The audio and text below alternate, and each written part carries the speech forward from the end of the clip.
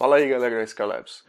Um, tô criando esse vídeo rápido, tá? É para falar sobre uma bateria que eu comprei, tá? Que eu não achei que ela ia ser tão boa assim, mas realmente foi muito boa. E é uma bateria da Multistar, tá certo? É, a maioria das pessoas não compra essa bateria por um detalhe. Essa bateria aqui, ela é 10C. Eu não sei se vocês vão conseguir ver, mas ela é 10C, 5.200 mAh, 4S, tá certo? Ela saiu em torno. Agora não me lembro certinho, faz um tempo que eu comprei ela, já estou pelo menos uns 4 meses com ela. Ela deve, deve ter saído com os impostos e tudo mais, cerca de 300 reais. Tá certo? E antes eu estava usando uma Turnage de 4 Ah, tá? 25C, uma Turnage Nanotech, uma bateria muito boa também. E o curioso é o seguinte, essa bateria da Mustar, ela tem basicamente o mesmo peso que tem a minha Turnage de 4 Ah. Então, quando eu decidi comprar, eu falei, ah, vamos ver, fazer um teste, né? Porque 10C em 5.2 Ah são 52 amperes máximos de descarga. E particularmente o Alien, o que é o, o Pérola Negra, ele só consome em torno de 20 amperes hora é, no seu extremo mais alto. Geralmente consome 10 amperes e ele é uma aeronave razoavelmente pesada. Ele pesa em cerca de 2 kg. Então, se você parar, se você tiver uma, quiser uma referência, os motores eles são DJI, os vermelhinhos, tá? 2212. Então você pode ter certeza que se o seu drone pesa menos do que 2 kg e tem os motores vermelhos com hélices 1038, você provavelmente vai estar consumindo muito menos do que eu estou consumindo, porque o, o Pérola Negra realmente é uma aeronave pesada. Então, eu falei, ah, vamos tentar, né? 10C não deve ser problema nenhum, são 52 ampere ainda, ainda está longe do máximo ainda.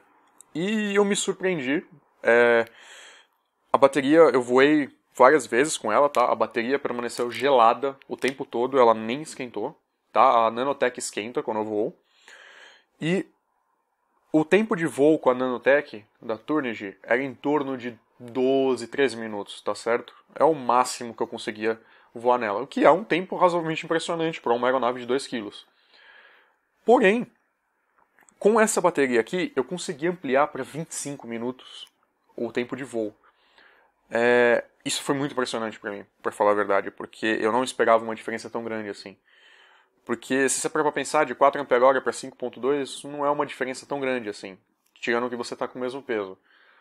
Só que, na verdade, eu tive algumas outras vantagens, coisas que eu não tinha percebido. Essa bateria, na verdade, é um pouquinho mais leve, tá certo? Ela não é muita coisa, deve ser em torno de 30 ou 40 gramas mais leve. É, isso diferencia, mudou um pouco alguns minutos de voo. Eu diria que eu fiz o teste para ver, coloquei essa bateria coloquei um peso a mais de 30, 40 gramas em cima, pra, exatamente no centro de gravidade, para fazer o teste.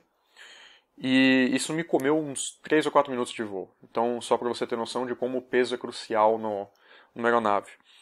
Além disso, tem outro detalhe de que por ela ser um pouco mais leve, eu tive, digamos, a sorte de o centro de gravidade ficar mais correto do que ele era. Porque no Pérola Negra, é, eu não tenho muito como brincar com o centro de gravidade dele. Porque a maior parte das coisas são muito fixas, são parafusadas no lugar e tudo mais. Então, eu tive sorte de que a Nanotech deu um peso ideal, tá certo? Essa daqui chegou num peso mais ideal. Então, o que, que acontece? Os quatro motores estavam mais eh, com um peso melhor distribuído, por assim dizer. Isso muda a curva de eficiência de cada motor, tá certo? Porque os motores que estavam rodando abaixo da carga é, da carga média, obviamente eles estavam com uma eficiência maior, porém a, a queda de eficiência é sempre maior do que o ganho de eficiência quando você baixa o peso. Então, se você subir o peso, você cada vez perde mais. Então, conforme você balancear, conforme eu balanceei esse, esse negócio, eu tive uma melhora de, sei lá, eu devo ter ganhado um minuto, alguma coisa, dois minutos, só por causa disso.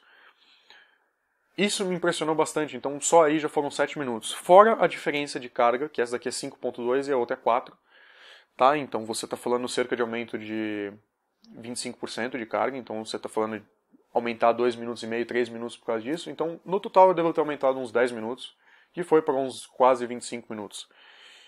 E, particularmente, a minha impressão voando 25 minutos é que isso aqui voa para sempre, porque várias vezes eu não consegui voar 25 minutos. Eu simplesmente levantei voo, comecei a brincar com ele, de repente eu pousei, aí depois levantei de novo, sem nem trocar a bateria, carregar a bateria, porque estava durando muito tempo. Vale lembrar que eu tô com transmissor de vídeo, tô com tudo ligado, então realmente me impressionou. Então, essas baterias aqui são relativamente baratas perto das outras, tá? Principalmente por relação da IC.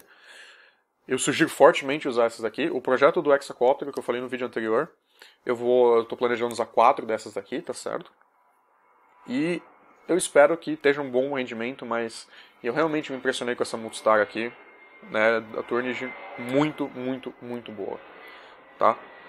Eu recomendo para multirotores fortemente usar essas baterias, mesmo que elas estejam baixo C. O alto C é uma ilusão para multirotores, eu nunca vi um multirotor consumindo mais do que 10C em, em relação à bateria que você geralmente usa dentro do, de, um, de um quad, de um hexa ou octa ou qualquer coisa do tipo. É, geralmente mais do que isso, só aviões e olhe lá. Ou, por exemplo, carrinhos de controle remoto. E esses têm um, uma necessidade em ser muito alta. Mas é isso aí. Recomendo muito bem, essa bateria é muito boa. Tá? Ela não inchou nem um pouquinho, ela não esquentou, não fez nada. E espero continuar podendo voar com bastante tempo com ela. Então eu já estou 4 meses com ela. Carga nominal, se eu carregar ela de 0%, que não é 0%, né? na verdade eu, eu geralmente faço ele cortar em 14 volts. Então de 14 para 16.8, que é a carga máxima, ela carrega em torno de 5.4 ampere-hora ainda. Tá certo? Ela não teve uma queda muito grande, então eu suponho que deve durar uns 2, 3 anos essa bateria, tranquilo no uso que eu estou usando. E é isso aí. Nos vemos no próximo vídeo.